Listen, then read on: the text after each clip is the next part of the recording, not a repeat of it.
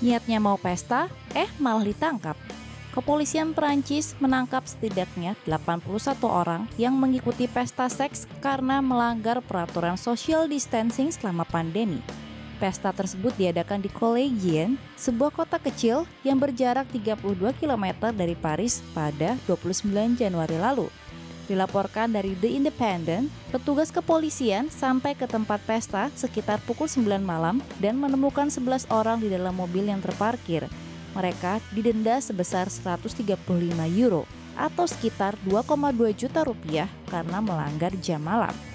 Sebagai info, Prancis menerapkan aturan jam malam selama pandemi yang membatasi pergerakan dari pukul 6 sore hingga 6 pagi.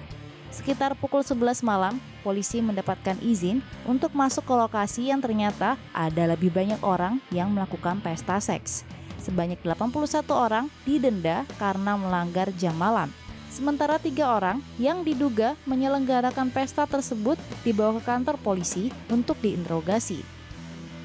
Polisi menyita sound system dan lampu-lampu yang digunakan selama pesta sebagai barang bukti.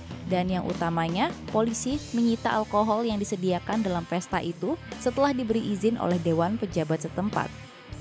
Pesta tersebut melanggar jam malam dan ini juga berkaitan dengan hal penggunaan masker dan social distancing, kata seorang penyelidik.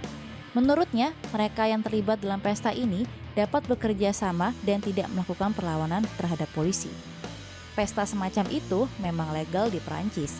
Tapi, mengingat sekarang sedang masa pandemi, kemungkinan seseorang menularkan virus corona juga lebih tinggi.